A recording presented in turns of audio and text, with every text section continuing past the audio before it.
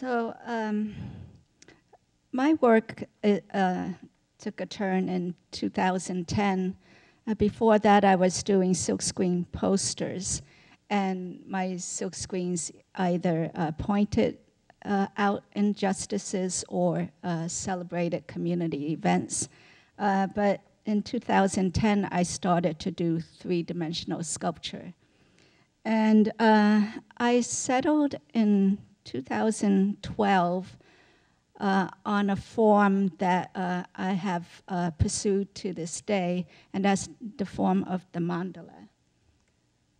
So uh, mandala means circle, and uh, it has become a great medium for me to um, galvanize community, uh, focus around a, a, central issue, or um, just having different little pieces that make up a whole universe. And so um, I found that this was a great way to tell stories, affirm identity, or educate about history, um, celebrate cultural traditions, and also preserve memory.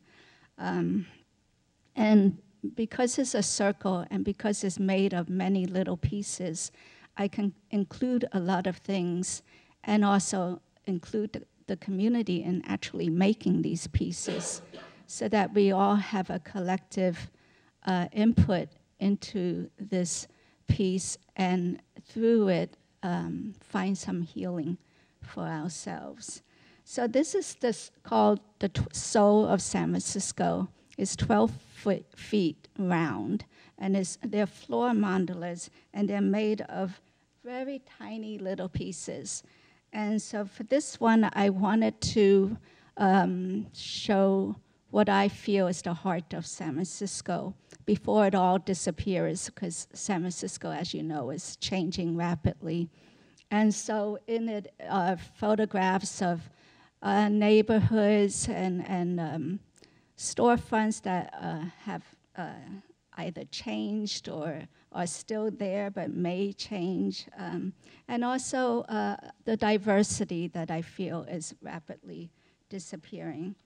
So that was one way to um, preserve memory and also to add some delight. You know, what was delightful about San Francisco? Ramen noodles and sponge cakes are in there, and as well as a lot of other things. And I, uh, I engaged um, people in the senior centers uh, to help me with these pieces, and also uh, some young children from school.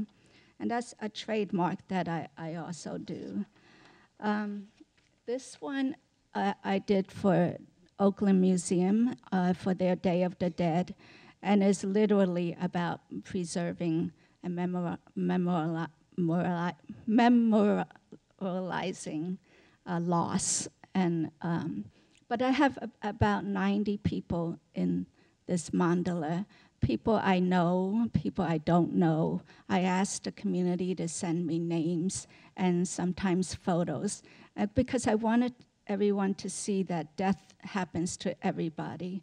And through that realization, we're um, in some way comforted because we share this common grief uh, over this uh, inevitable um, uh, fate that we will all have.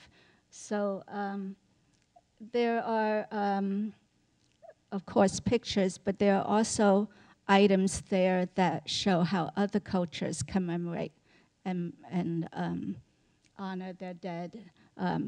From obon dancers to uh, Balinese um, baskets to, you know, uh, you know, butterflies and skulls and stuff like that. And I also have a playful element here too, where the skeletons come back to Earth and haunt the places that they used to go to. Um, and that's a detail of that. So this one is the one, um, I'm not keeping track of time, but this one I wanted to focus more on.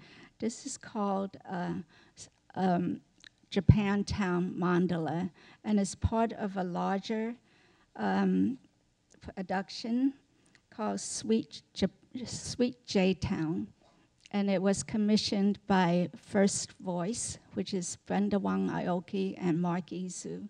And, and it's a multidisciplinary event where we took over a storefront in Japantown. And um, I have the mandala. There's an interactive pagoda that um, accompanies it. There are multidisciplinary um, music, dance, and um, uh, a panel discussion, and um, a, a lot of community activity. So here you can see some of the, the items in it. We um, use everything from a, a, lot of resources from the neighborhood. We had um, Little Friends, these little preschoolers. They made the gingerbread people. And we have uh, photos that pointed out the 100 year history of the Japanese in America, including the internment camp. It's all in there in the inner rows. And then we made fun stuff like sushi and um, you know, little items that are pertaining to the culture because Japantown is in danger of being lost due to gentrification and redevelopment. And there are only three Japan's towns left in America, so it's very important to um, point out the, the significance of this particular neighborhood and this particular culture, and most importantly, the history, so that we don't repeat it. Um, seniors helped me with the outer rows, um, two senior centers there, everything in the neighborhood, including the mall where our storefront was held. Um, everything is in there. There, uh, it was a big gallery, so we had, um, you could see the mandala, but there was also room to do a panel discussion on the relationship with Western Addition because it was not a separate community before Geary Boulevard divided the neighborhoods. And um, we had young people doing hip hop, and, and um, you know, it was important uh, to engage the young people so they could carry on this telling of history. And uh, in fact, the project um, commissioned eight interns called J-Tels, and they were commissioned to learn about Japanese history, and they will be the ones to tell it in the future.